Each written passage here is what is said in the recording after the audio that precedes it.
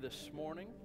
Um, we're gonna we're gonna kind of embark on a, a journey here together, and I need if you're if you're planning on being in attendance in the next several weeks, I need you to focus in hard. If you're just passing through town today, I, I don't want to apologize for this, but I'm going to give a ton of scripture today, and and I'm not going to get to show exactly where we're going with all of it. Okay, so forgive me for that if it if it doesn't. Uh, explain itself. I, I, I, think you'll get some great things today. Anytime you're in God's Word, you'll get some great things. But it's going to make a lot more sense in the weeks to come. Um, one of the things that uh, I kind of am liking this message to is the, the artist palette, okay? Anybody in here do painting? Anybody like to, to paint? Anybody? Nobody? Okay, okay, bashful people. Okay, there's a painter. Uh, uh, I, I, I don't do I, I, don't do painting. I, I have done painting. I did some painting in school and entered a state competition. And so, I, I, I if you've ever really painted, uh, and I don't mean like like watercolors. Well, actually, you can get pretty serious with watercolors as far as mixing them goes. But a lot of the acrylic paint is what I'm talking about, where you start mixing and making your own colors. You go to the store. If you if you if you're used to markers, okay, markers, you need a big old box to get all the colors, right? If you want to really spice up a picture with multiple colors, you got to really kind of get a, one of those monster Crayola boxes, right? But when you're actually doing acrylic paint, painting, you, you, you don't need as many primary colors. But what happens is, is it starts out like this. You just kind of, you put your, you put your paint on the artist palette. But then this is kind of what it looks like later as things go forward. It, it kind of becomes this, right? because you start mixing and coming up with little less blue, little. Anybody remember? Was it Bob Ross? Right? How many of you are thinking of Bob Ross already? Like you can't even help it. I almost someone in our church has a Bob Ross T-shirt. I was trying to remember who it was. I thought about wearing it today. We'll put a little pretty bird right here, and uh, but Bob Ross. Okay, uh, this is not the whole message, but here's what we're going to do today, just so you know. We're walking towards a study. Our next series, uh, if God doesn't change things, is um, Hello, My Name is God. If you were here for Hello, My Name is Jesus series that we did, um, Jesus, by the way, who was uh, made flesh and dwelt among us, um, is the easiest one of the Trinity for us to understand because Jesus was made flesh and spoke our lang- not our language as Americans, but uh, with a, a tongue like we do as human beings. He was the example of God in man form, right? And so and yet, when we really went to the Bible and said, Lord, we want to know Jesus as he is, as he is in heaven, not as we have made him out to be in the church, not as we have heard through the flannel graph stories of Sunday school years ago, but who is Jesus really? And we did a whole study on that. And many great Christians in this church that I, I esteem as great Christians walked away going, wow. I, and not because of the preaching, but because of Jesus. Funny thing happens when you put all of your focus on Christ and ask him to show you himself Sometimes he just shows off a little bit. Sometimes he shows you who he really is. And, and, folks, we have a very powerful Jesus. We have a Jesus that doesn't just save eternal souls from hell to heaven, but we have a Jesus that wants to save marriages. We have a Jesus that wants to save finances. We have a Jesus, the gospel of Jesus wants to come into your world and save it. Can we do something very important for the next uh, study? I need us to take the word salvation and I need us to think about it for just a minute, okay? Because when, when we say, anybody ever do door to door confrontational evangelism? Anybody ever done that in your lifetime? Wave at me if you've done it, okay? I've done a ton of it. Let me tell you how it works.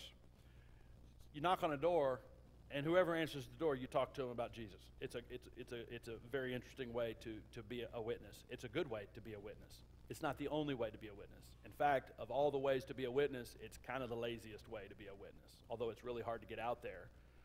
It doesn't matter who I am. It doesn't matter how much I love people. I can just show up on their porch as a salesman, so to speak, knock on a door and say, hey, let me ask you some really hard questions about life and make you uncomfortable on your porch. And if you'll go all the way with me, I'll tell you about Jesus.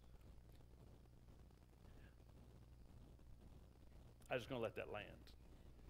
Because some of you are like, he's not supposed to say that. No, it's good. It's good. However, most of you are walking out life in a community with people who are dying and going to hell. And what I have experienced is most of us won't witness to them because they know who we really are.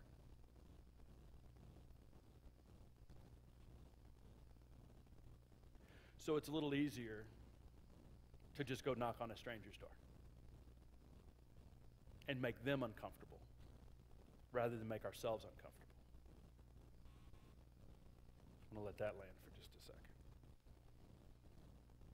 Because I, if I'm not careful, I'll get some evil eyes during the message at me. And I'm just going to let you get an evil eye from heaven first. There's some truth in that. So let me, exp- uh, by the way, if you think I'm here to do away with confrontational door to door evangelism, you are completely wrong and you don't know me. I'm not doing away with it. I'm calling you to at least both. And that is this that you start understanding what Christ has called you to completely. In the Lord's Prayer, Matthew 6:10, if you'll put that on the screen, Matthew 6:10 says this, "Your kingdom come, your will be done on earth as it is in heaven." How many of you recognize this verse from the Lord's Prayer? Okay. On earth as it is in heaven. This is where the church has really gotten off track. What we actually say, on earth as it is in church. And so what's happened is we've sat in pews like this for a long time. We here's a dirty little secret about Christianity. We don't read this. We pay someone to read it for us and to unpack it to us 52 times a year if we don't miss church. And then when they unpack it, they usually do a good job. They usually do something funny, they do something tear jerking, they do something fanciful, they do something that is, is eloquent, and we go, they must know what they're talking about. Because number one, they've been hired. And number two, they've been given a platform. And number three, they're a man of God. And four, they did a really good job. So, whatever they say, it's more than I know about the Word of God, so therefore, ergo, it must be true. On earth, as it is in the church.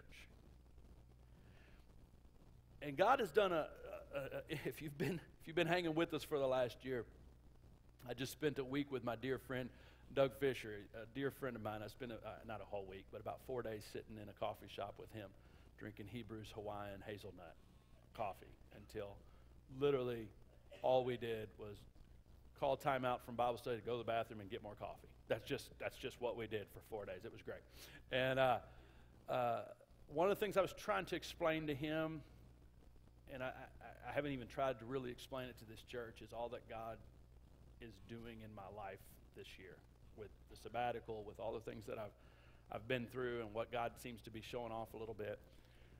I'm going to tell you one little brief one. So, I told the church several weeks back that I was praying about this Hello, My Name is God series, right? And if, if you were here then, you remember me saying, I'm really kind of struggling on how to get how to get on to that on ramp. You're not going to believe how God met me in that. So I was I was thinking some things through, talking some things through with Pastor Fisher, talking some things through with some other friends that I have, and and and not in this place. I, was just kind of keeping it to myself on what God's doing in my life, and and then I was meeting with the bank for the building, and our banker, um, his name's Scott.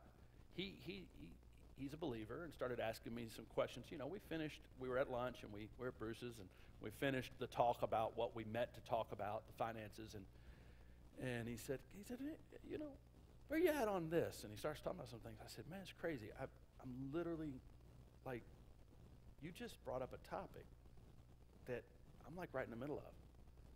He said, oh. He said, have you heard this? And have you heard this? And he said, uh, I wrote a book. So I'm going to actually give all of you at the end of this study a book that our banker wrote. Pretty incredible. when you start praying for something, and I can't tell you what a confirmation that was for other decisions we were trying to make, but the bottom line is when you start praying for something, God just does it in, in supernatural ways. And so, um, God wants our church to go through this journey. God wants us to be stretched out a little bit. I know that I'm already stretching some of you out in my opening statements, and that's, that's what you do before you do a workout. You stretch out. And if you stretch out and you don't get to that point where there's a little bit of a, a, a tension, you didn't stretch out right, right? I'm ready. You're going to pull something. so I was trying to stretch you out a little bit more, okay? And, and here's what we want I don't want, I, I, uh, I'm beyond not wanting. It's not working. On earth as it is in church isn't working. Trying to get McDowell County to act like church people is, is it's a failed process and it's not going to radically, dynamically change their lives. So I'm over that. I'm, I'm, I'm completely over that. God has released me from that. I have freedom in Christ in that. I don't mean to be offensive when I say that. If you're offended by that, I am so sorry that you're offended by that. Uh, I wish you could just walk all the way through what this year and the past couple years have been at this church and what God's doing and what God apparently isn't scared of because the, the blessings that he's giving are supernatural. I know it's easy when you look at something from outside, oh, that must be. No, there's some supernatural things going on at this church, and I praise God for it. It is so not our preacher. It is so not a big name. I promise you that. It, it's, it's kind of a joke what's going on up here, but God is good. Amen? And so I, I want to, we're going to talk about on earth as it is in heaven, and I want you to understand some things about rewards rewards. That might seem like a random jump off of this verse, but I, I want you to understand something. There's a day coming called the judgment seat of Christ that every one of us is going to stand before Jesus as judge. And his flaming eyes of fire that we read about in Revelation in our last study are going to try our works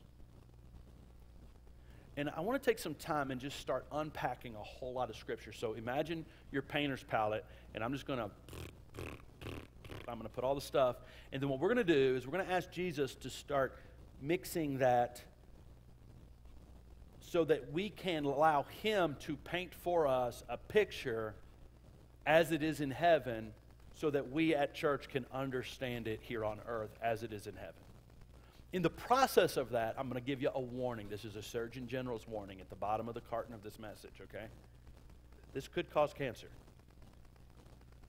Cancer that will make you think you've got to find another church and leave.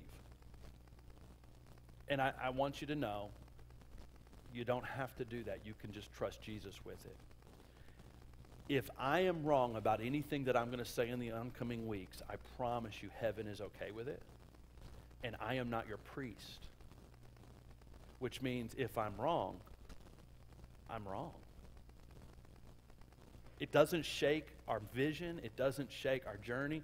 It's just another area in Bob's life that God's going to keep working on. Are we okay with that? Are y'all okay with a preacher that might be wrong every once in a while? See, here's what I struggle with. A lot of people are okay with the, not okay with a preacher that's wrong, but they're pretty sure Jesus is often wrong. And I'd like to just switch places with Jesus because, as, I, far as I've figured this out, he will have no other gods before him. And if you put me on that pedestal, he will get rid of me because I will be in the way. And so I would just like to be the guy with the problems standing next to a God that has none. And we could trust him at his word. And so I'm going to give you a whole lot of his word. I'm going to, I'm going to take you where I think it's taking this church. And, and I reserve the right to adapt that as we go, as God continues to illuminate. But I promise you, I'm not shooting from the hip right now. I have been in this for over a year, studying hard, trying to understand something very, very important. And I believe God's beginning to show it to me in a way that's not just personal, but is in a way I can start to unpack for our church. And I also believe this church, it is crucially important for our vision, for what God is doing and what he's calling us to do in McDowell County, this is something we have got to collectively as a church understand. It is not enough that I understand it and I unpack it with my staff. I need the church to understand this. because it's going to take the church to do what God wants done in McDowell County. So this is not just another series to get us through the 52 weeks of a year. This is crucial to the life of our church. And that's why I want to take this much time at the beginning of the message to say, tune in. Now let's jump in. I'm going to give you a bunch of scripture. Remember, we're just kind of putting some things out on the palette. Second John, verse number 8. It's a very short chapter. Uh, there's only one chapter in Second John. Watch yourselves so that you may not lose what we have worked for, but may win a full reward. There's some heavy words there. Okay? By the way, do you work for your salvation? Salvation's a gift. I need I, I, wanted to do this. I want to make sure I do this. I want to I want to help you with the word salvation. If you've done the door-to-door evangelism, I remember knocking on the door and I, I, when I was first learning, I said, "Hello, do you know for sure if you're saved?" And and a little boy looked at me and he said, "Yeah, yeah, I was in a swimming pool when I was young and my dad saved me." And all the church goes, "Oh, isn't that cute?" That's what the word saved means. See, what we've done is we've taken saved and salvation a word that the Bible uses, and we've made it mean only one thing from heaven to he- uh, from hell to heaven is salvation. And the truth is, God is in the saving business way more than just eternal security.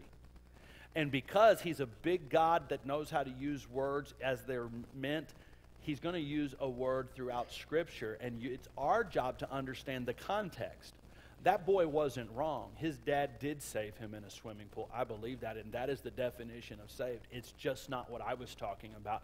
I wanted to know if he was on his way to heaven or hell. And I wanted to see that direction change if it was hell. I wanted him to ask Jesus Christ into his heart. But how many of you know when a marriage c- comes to my office and says, We need help, Pastor, our marriage is falling apart? I can't just say, Bow your head and close your eyes and p- pray this prayer. Jesus, please come in our hearts. You're both saved now. You should be fine. It's not how it works. Because Christian marriages are ready to kill each other, maybe at a faster rate than the world's marriages, because the, Satan is after the Christian marriage. He is absolutely out to destroy the Christian marriage. I am 100% convinced that Satan is doing everything he can to keep homosexual marriages together. I believe that. You can, you can say you're wrong. That's fine. I told you I'm okay with being wrong this whole series. I'm good with it. Uh, but I, I really believe he is for shacking up. He's for it. He's for it, man. I mean, if you just want to live together, now God, the hounds of heaven will be after you. They're pretty effective too if you're God's child. If you're not God's child, quit looking at Hollywood and getting frustrated. If they're not God's child, God is not after them, the hounds of heaven aren't after them, and Satan is great with it. Anybody seen Elton John and his buddy? Been together for how many years now and a happy marriage? Well, thank Satan. I'm not thanking God for that. God doesn't have any. I told you I was going to. Some of you didn't stretch enough. Let's get, let's get down there. Ah, some of you need to stretch a little bit more. Okay, sorry. Watch yourselves. Watch yourselves. Quit looking at Hollywood. Quit looking at everybody around you. Quit looking at McDowell County. Watch yourself because you're in danger of something, according to this verse, so that you may not lose what we have worked for. You did not work for your salvation. You cannot lose your salvation. That is not what this is talking about. But there is something that you should have been working for that you can absolutely lose, according to 2 John 1 8. But may win a full reward a full reward. I believe there's a difference between reward and full reward. I believe there's a difference between being in Christ and abiding in Christ. I believe there's a difference between life and abundant life when you study Scripture. I believe that there's a difference in being indwelt with the, indwelt with the Spirit or filled with the Spirit. Those are different things in Scripture. I believe there's a difference in going to heaven and having an abundant entrance into heaven. There's a difference. I'm going to say something real strong now, but you're going to see it in some verses in a minute. There's going to be some people that get to heaven and taste death for the first time. I'm going to show it to you from the Bible. We think heaven is just a bunch of naked babies popping cherries in our mouths and, and fanning us with palm. You've been looking at cards at Hallmark too long. This is not what heaven is. Some are going to suffer loss in heaven. I'm going to show you from Scripture. Do I have your attention now? Because I need your attention now. Because as your pastor, I am responsible before heaven to your understanding of the judgment seat of Christ. And it's not popular preaching. I don't expect the church to grow during this series. It might shrink. But it's an important message. Revelation 3, chapter 10, verse 12 says, Because you have kept my word about patient endurance, I will keep you from the hour of trial that is coming on the whole world to try those who dwell on the earth. There's a trial coming, a judgment coming on the entire earth. And he says, I am coming soon. Hold fast what you have. Let's, let's keep going. Verse 11. I am coming soon. Hold fast what you have, he says it again, so that no one may seize your crown. Verse 12 The one who conquers, I. Everybody remember this passage in Revelation? We're reading about the churches of Revelation here. This is, this is just right out of the study we just did. And here's what he says The one who conquers, he's talking to one of the seven churches here, I will make him a pillar in the temple. It's not a pillar, like a pillow. That's not what it is. I got to help my Nebo people. I like a pillar from Jesus. I got one in my pillars, and it's not doing real good. This is not that, okay? The one who conquers, I will make him a pillar, like something that helps to hold the structure together. I will make him a pillar in the temple of my God. Never shall he go out of it, and I will write on him the name of my God and the name of the city of my God, the new Jerusalem, which comes down from my God out of heaven, and my own new name. Uh, this is why it's an on ramp. We're going to find more about this God that's clearly building a temple that we don't know about or we don't study about that we think is located in a faraway land here on earth, but there's another temple being built by God, and, and, and He wants us to be a part of it. He wants us to be part of the structure, part of the infrastructure of who that is. And you don't get to become a part of the infrastructure by praying a prayer to get saved asking Jesus to save you. There's more that we need to understand from the Word of God. 1 Corinthians chapter 9, verse 24 says this Do you not know that in a race all the runners run, but only one receives the prize? So run that you may obtain it. The next verse.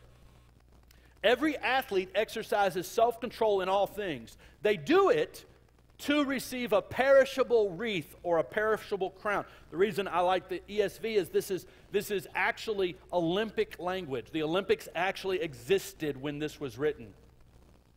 And he's using the Olympics, the wreath that the Olympians used to wear. If you've seen old pictures, they would actually receive an Olympic crown. Okay? It was a wreath. Every athlete exercises self control in all things. They do it to receive a perishable wreath but we an imperishable. So I do not run, verse 26, so I do not run aimlessly. I do not box as one beating the air. So there's some Olympic conversation going on here. There's the runner in a marathon. There's a boxer now. And, and, and this is this is this is I'm not as one that's beating the air. Shadow boxing. Everybody know what shadow boxing is? It's when you're fighting and no one's there. By the way, you always win that one. Right? Even when you dodge a, dump, a, a, a jab, you're the one that invented the jab coming from that direction. Do you understand that? Anybody ever been shadowboxing in a Christian life said, Whoa, almost got me, devil, and you made up the thing you just dodged? and you think you beat the devil, you're like, Yeah, yeah. No, you made that up. You, you, you, you thought it in your own mind, and, and victory over your besetting sins was your choice to make in the first place. See, Satan's going to get you when it's not your choice. Well, all of a sudden you're like, hey, everything. Where'd that come from? Satan's got left hooks, jabs, uppercuts you don't even know about.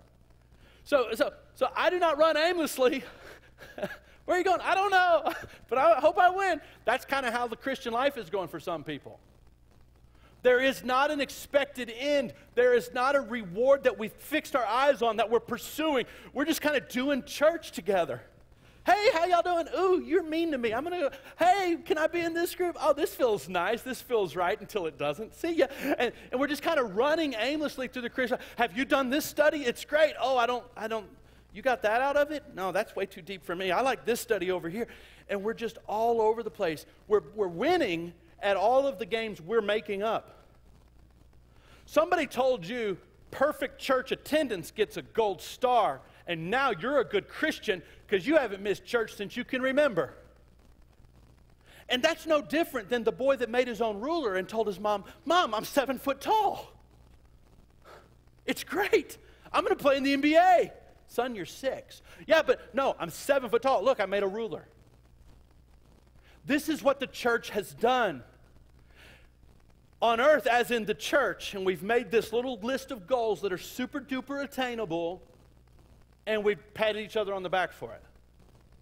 And, and worse, we've shamed other people in the community that didn't measure up to what we made. And now we're living in a post Christian community that says, hang it, I think you made it up anyway. And they're right. The problem is we don't know it because we don't know it. Someone told us you get a gold star for attending church. And we've been attending church like animatons ever since because we're good Christians. Hey, I want you back next week. But if you need to miss church next week so God can stretch out the fact that you're not as good a Christian as you are, it'd be the best week you ever spent not coming to church. Because while you're not at church next week, I hope you learn this God loves you. And He's so crazy about you, He could care less about you running to obtain a prize He didn't invent. Now, let me really mess y'all up. Y'all ready? Jesus didn't even go to church every Sunday. he didn't. Study your Bible. Like one time he talked about going to the temple, it was the annual trip. What? yeah, okay. So all y'all are like, see you next year, Bob. Okay, that's your choice. We'll be fine. You might not. You don't need to apologize to Bob and the church for not being here. But you might need to be here so we can encourage you towards a coming reward. And I'd like for you to rethink the reason you go to church while we're in this study. Verse 27 But I discipline my body and I keep it under control, lest after preaching to others, I myself should be disqualified. Does anybody here think that, that Paul was saying, lose my salvation? Disqualified. There's only one qualifier to get to heaven, right? That's what the whole church is here for. So Paul's worried about losing his salvation? No. He's worried about losing pillar status. He's worried about not having the positional authority that God has an expected end for him in the millennial reign and in the kingdom to come. And Paul says, I don't want to lose that. When you get your eyes on heaven and you understand God for who He really is, and you start living for something better than your 401k and the house on the lake and this, the new uh, cabin and all the things that you're planning on this earth, when you get that straight, nothing wrong with all of those things. I'm totally fine with all those things. I promise you I am. I think heaven is. In fact, I think God wants those type of blessings on his children. But, I say this very carefully because the way it sounds, it's a big but. Not at the expense of eternity.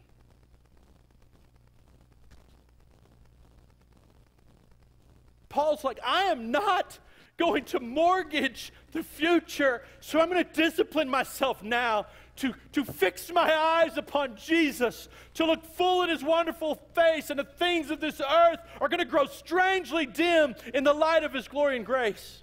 I have got to get the bigger picture of who God is. And so do you. Because this community needs some imagers. Some imagers that were created in the image of God, but have never stopped looking at the image of God. Matthew chapter 16, verse 25. For whoever would save his life will lose it, but whoever loses his life for my sake will find it. I'm going to go quicker here so you just keep up with the screens. For what will it profit a man if he gains the whole world and forfeits his soul? Or what shall a man give in return for his soul? For the Son of Man is going to come with his angels in the glory of his Father, and then he will repay each person according to what he has done. Truly I say to you, there are some standing here who will not taste death until they see the Son of Man coming in his kingdom. I hit this this summer and my brain exploded. I, I, do you remember me telling you a little bit? Like one of the rumors about John was he was going to live forever. Remember us talking about that? Because, because Jesus said something like this to John, and everybody thought, oh, John's the favorite. He's going to live forever. He's going Listen to what he's saying. He wasn't speaking of John, he's talking about tasting death. Do you understand something as a child of God? You don't taste death? It's a shadow. You ever tasted a shadow? There's one right here. You want to come taste it? you can't taste shadows. You, you, the reason Christians don't taste death is because the Bible says we sleep. The Bible says Jesus took the sting of death. Oh, death, where is thy victory? Oh, grave, where is thy sting? Many of us Christians are never, even in our death, going to taste death. But some of us standing here are going to taste death for the first time when we see the Son of Man coming in his kingdom because to lose rewards has the taste of death to it. Let me keep reading. So, Luke chapter 12, verse 20.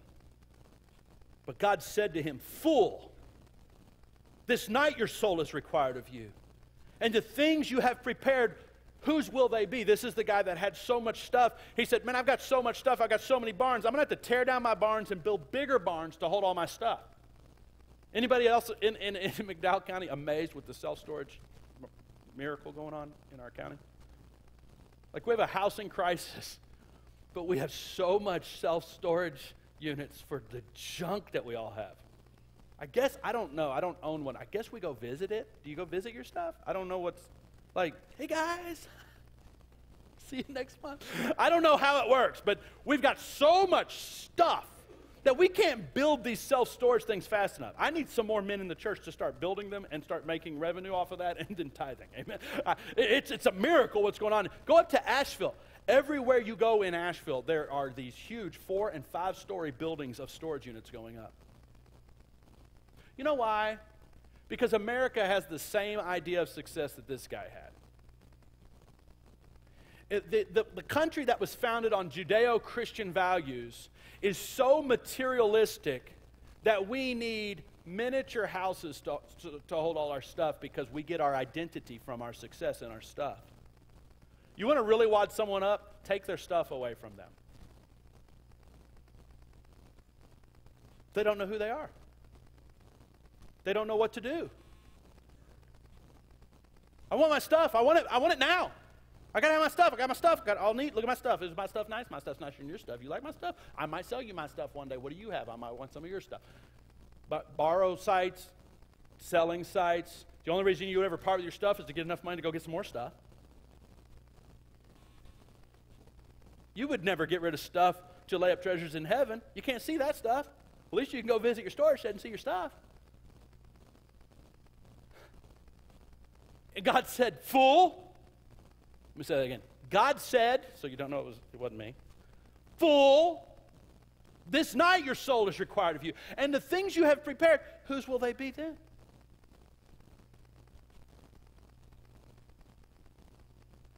Verse 21. So is the one, so is the one. So look, that's a great message and fun to preach because people get mad if you like getting people mad. I actually don't like that.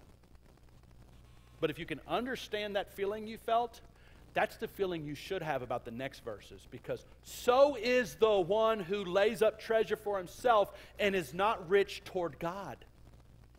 The anxiety you felt when I said all those things in the last verse should be the anxiety that the church feels about heaven one day with no rewards. But we have no anxiety there. Paul did. Paul said, I bring my body under subjection, lest I myself be a castaway. Castaway from what, Paul? From being a pillar in the next life. I am laying up my treasures in heaven. And that's why he said, I can glory in my infirmities, because you know what? It's not about this life, it's about the next life. A little pain for a little while, I'll be fine. What a heaven's view. But the church is not anxious about the next life. We're ticked at the preacher over what he said about the storage sheds. He knew I just got one this month. No, I didn't. I didn't know. Sorry. I got people in the church that sell storage units. I'm in trouble right now, okay? So it's good. So is the one who lays up treasure for himself and is not rich toward God. 2 Corinthians chapter 5 verse 10. We okay? A lot of scripture here. For we must all appear before the judgment seat of Christ. It's coming so that each one may receive what is due for what he has done in the body, whether good or evil.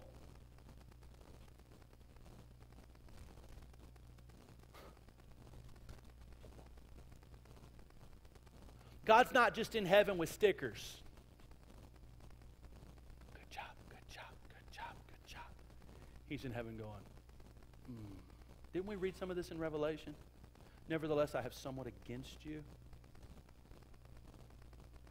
Well, I just like to think of Jesus as like this real loving God that doesn't, that, that's just an encourager. He just says, Good church, go. Sometimes he says, Bad church, no. Oh, well, we don't preach that. Nobody likes that message, Bob. If you keep preaching a message like that, if we don't preach a message like that, we have nothing to offer this community because we're living for ourselves. Romans 14:10. Why do you pass judgment on your brother? This is a great question. Why are you so worried about the other churches are doing?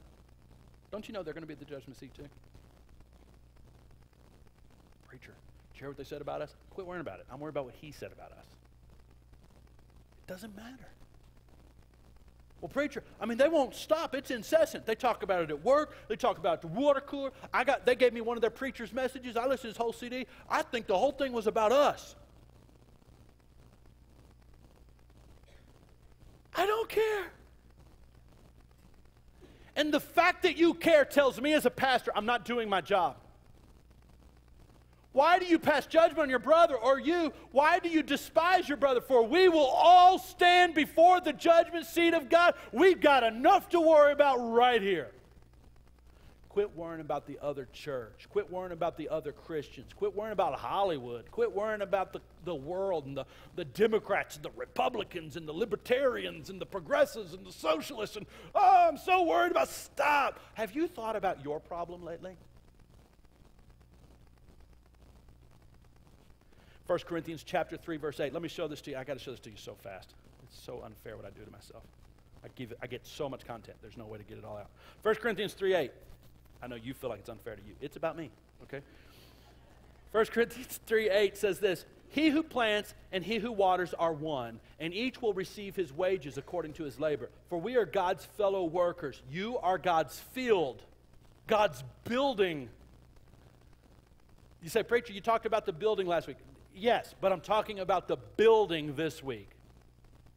The building that's so expensive that Jesus bought it with his blood millions be damned. Jesus paid for you with his blood. You're the pearl of great price. You're the building that has no other maker than God. Quit worrying about the building and worry about the building. According to the grace of God given to me, like a skilled master builder, I laid a foundation and someone else is building upon it. Let each one of you take care how he builds upon it. For no one, no one can lay a foundation other than that which is laid, which is Jesus Christ. Now, if anyone builds on the foundation with gold, silver, precious stones, wood, hay, or stubble, or straw, verse 13, each one's work will become manifest. For the day, the day, the day is the judgment day. The day will disclose it because it will be revealed by fire, and the fire will test what sort, S O R T, not what size, S I Z E, what sort it is. God is so less concerned with the number of people in this room as he is concerned with the type of people in this room. What sort are you? what sort of work each one has done.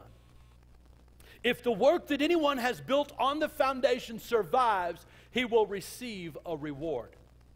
So we're talking about rewards. How do you receive a reward? Not by doing works, by doing surviving firework. There's a lot of works that aren't going to survive the fire. You don't get rewards for works that get consumed. Just so you know, the bad works get consumed. And by the way, that's part of your salvation. Jesus paid for your bad works, they're consumed. Can someone say amen? But his eyes of fire will also consume some of our good works. Because we thought going to church meant we were a good Christian. He's going to go. I'm not counting one of those days because you went for you. You went for your arrogance. You went for your position in the community. You went so someone else would look up to you. You went so the preacher would be proud. You went because it became a way of life for you to ignore all the things you should have been working on, but you're a good church person. And guess what? It's gone. Now what you got? Uh, God, I was kind of banking on all those years of church attendance as being something. And he's like, nothing else? Move along.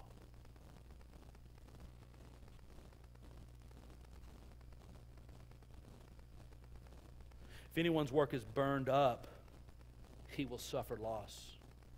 If you think God looking at you and saying, Is that all? Move along doesn't feel like death, wait till you see him face to face. It probably doesn't feel like death right now because it's a Jesus you really don't know. But when Jesus looks at you and says, Yeah, none of that counted. Thanks, but no thanks. Those steps away are going to gong with the sound of a death knell you will never get over in eternity until Jesus says, Okay, we're done with that. And it's a big deal. It's a big deal. Can I show you a picture? I got to show this to you. So, Jesus is the foundation, right? This is this is the church. Uh, feed me feed me these in order because I don't remember how we laid it out. The church, God's heavenly elect. That's you. Okay, I'm, I'm going to explain what that means here in just a second. And then he says, all of us are building on this foundation. We're building the building the, the, building of your life, not the building that we're purchasing and buying and trying to do ministry in. The building of your life. Or you're building that building. And there's several, there's a bunch of people all building. There's no other foundation. So if you're a child of God, all of us are building on the foundation that is Jesus Christ. And there's some building materials. There's gold, silver, precious stones, and then there's a whole other category of building materials that are wood, hay, and stubble. Which survives the fire? Gold, silver, precious stones. The fire makes the gold more valuable. Right? Fire does not make wood more valuable. Hay, not so much. Hey, hey, where'd it go? it's gone. Stubble, I mean, just, just junk in a pile. Uh, that's the stuff that's, that's down there, like at the end of a fire, that's worth less. It's worth nothing. So God says, I will not approve of wood, hay, stubble. Only what's gold, silver, and precious stones will survive the fire of my judgment. Later in 1 Corinthians, he gives another example that we're going to put up next to this, but let's go look at the scripture first. 1 Corinthians 10 1 through 5, almost done. For I do not want you to be unaware. One of the problems with the church is we are living life completely unaware, unfocused, unaware, un, unlaser beam focused on the future. For I do not want you to be unaware, brothers, that our fathers were all under the cloud. He's giving an example of what he's been talking about in 1 Corinthians. All our fathers were under the cloud. Under the cloud. What's he talking about? He's not talking about the iCloud. Okay? The fathers, uh, their fathers, the Israelites' fathers left Israel, and what led them? The will of God led them by the cloud, right? All the fathers of Israel were under that cloud. Let's, let's, I want the key word here is all. All under the cloud. All passed through the sea. All were baptized into Moses in the cloud and in the sea.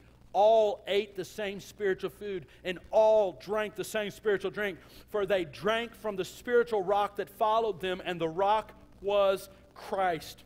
Nevertheless, here it is.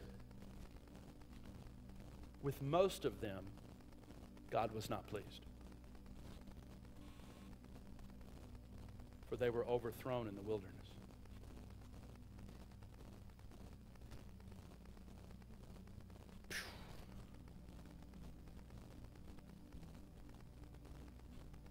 Funny thing happened when God made me the pastor of this church. I asked him for it, but I didn't see it coming. You ever pray for something you didn't see coming? I argued with him for three months because I'm a youth pastor. I'm a knucklehead. I, I just like to have fun. Senior pastors walk different. They talk with a steeple in their throat. They're, they're, they're very educated. They don't know how to have fun. You can't get it out of them with a crowbar. This was all my opinions. It's not true. It's just what I thought. Okay? So I argued with God.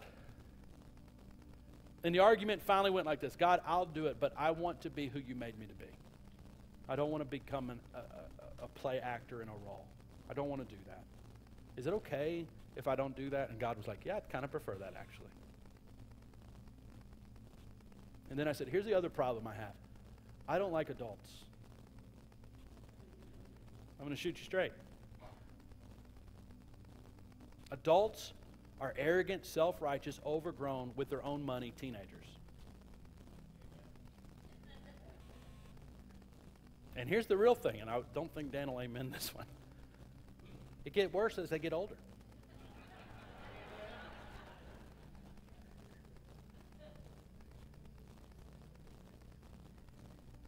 So, God, if I'm going to pastor church, I have to put a love for them inside of me. Love like I love the teenagers with. Because I don't know what happened when I was a teenager for 10 years, but I'd have lost my life for some of those kids.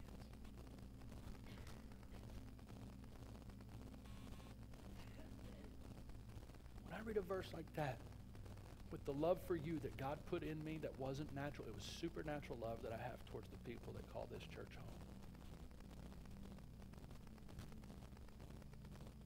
I can't imagine most of us getting there with no rewards. Most. So he gives this example of the Old Testament. These are this is Israel, God's earthly elect. And and all these Israelites are there, and then God says most of them were overthrown. By the way, they did not stop being God's earthly elect. They did not lose Israelite status. They just were unprofitable to God. You do not lose heaven. This is not a sermon series that should shake your eternal security, but it should most definitely shake you.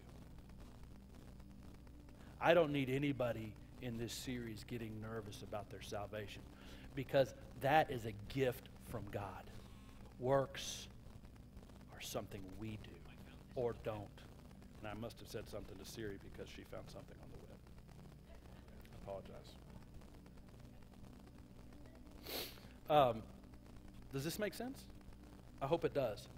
I want you to know that Jesus saw a difference between salvation and rewards. I'm going to end it right here.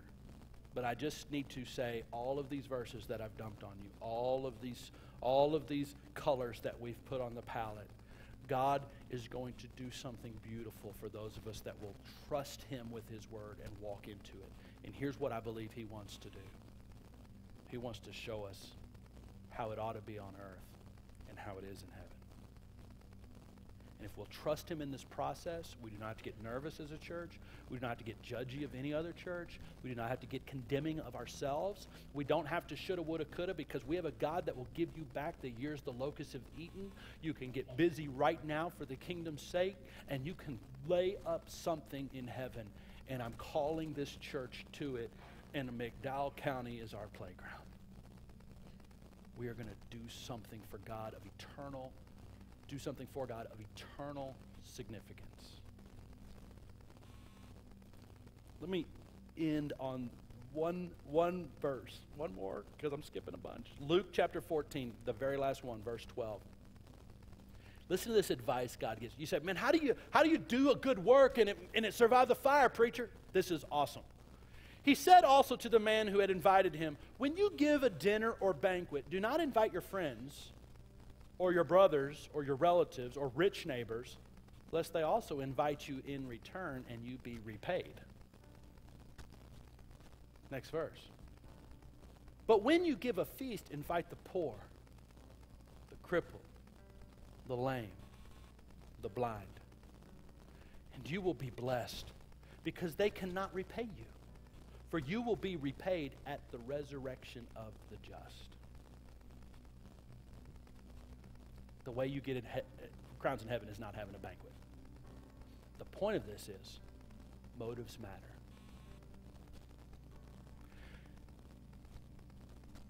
If you could take everything you've ever done in your life and honestly, honestly, painfully honestly write down why you did it,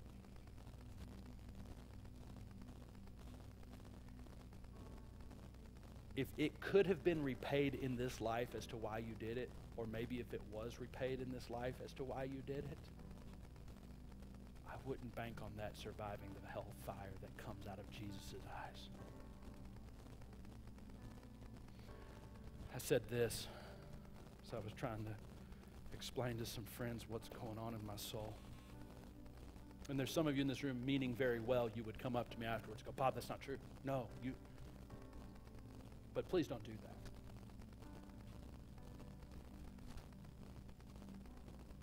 I did an honest accounting of my life as best I know how. And I have nothing before I came to Nebo.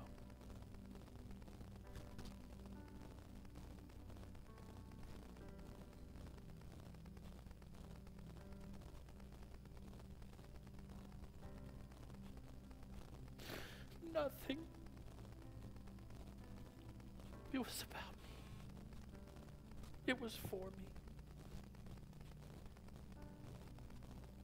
As a little kid, I, I, I was given a dream to grow up and be a great preacher. To, to, to, to, get, to get out there, to work hard, build a youth group, build a name.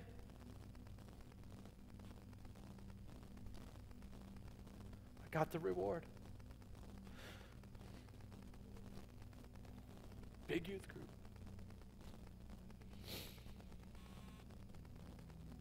Yesterday I walked into Starbucks. Girl I'd never seen before. She wrote my name on the cup.